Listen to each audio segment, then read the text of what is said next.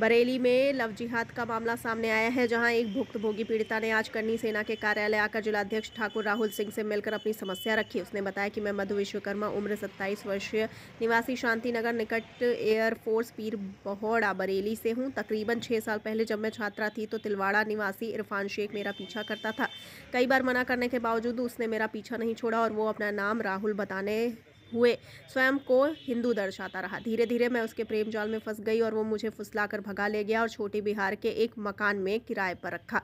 वहीं मुझे उक्त राहुल के मुस्लिम होने की सत्यता पता चली।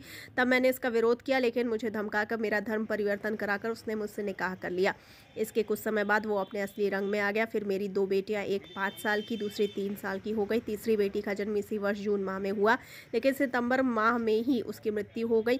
तीसरी बेटी के जन्म के बाद तो इरफान और उसके परिवार का अत्याचार मेरे ऊपर और भी बढ़ गया।